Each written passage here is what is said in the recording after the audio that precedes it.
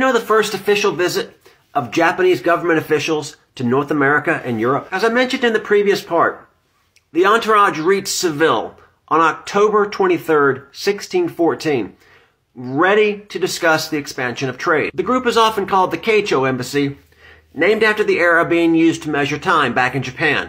From Seville, they went to Madrid and arrived there on January 30th, 1615. Once there, they met with King Philip. Tsunenaga brought a letter to King Philip from Date Masamune and requested a treaty.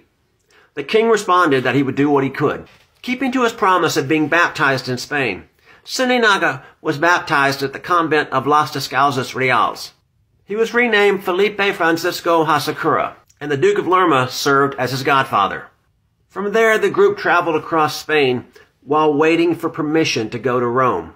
The group received the permission in August of that year and left that same month.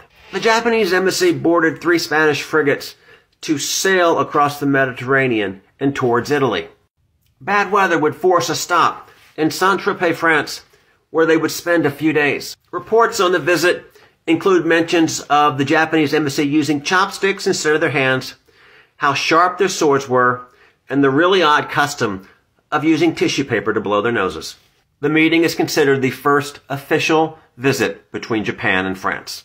The embassy eventually reached Rome on September 20th, 1615, with the plan of meeting the Pope and spreading the Christian faith. Back in Japan, the Tokugawa eliminated their last remaining opposition in the Siege of Osaka, which ended in June of 1615. This quashed any initial hope of a Christian resurgence within the country. So while Tsunenaga was talking about Japan opening itself to Christianity, word of the persecutions were already headed back towards Europe. If you like my Japanese history snippets, please follow, subscribe, like, and share my videos. And if you like books set in medieval Japan, please check out my works.